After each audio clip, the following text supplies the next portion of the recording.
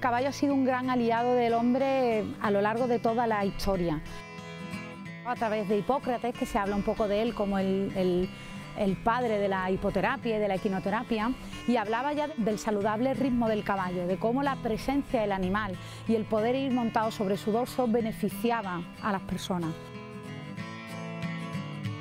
Eh, la fundación la decidimos, se creó en el año 2007. A partir de ahí pues creamos una red de centros adscritos por toda Andalucía, donde hay unos caballos debidamente entrenados, unos profesionales cualificados y, con una capacitación eh, sanitaria, educativa o, médica para poder atender a las personas que allí asisten.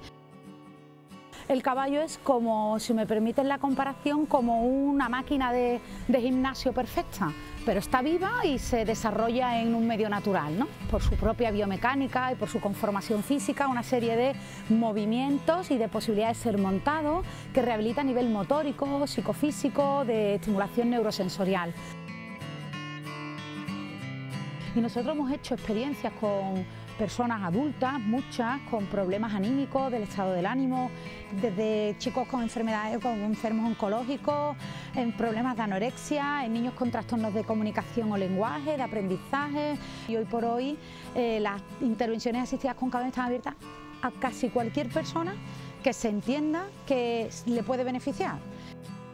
Creo que soy una afortunada. Unir mi carrera de psicología al poder intervenir con ellos, sinceramente creo que es como a lo que cualquiera podría querer aspirar, dedicarte a algo en lo que realmente disfrutas y no te pesa en absoluto, ¿no?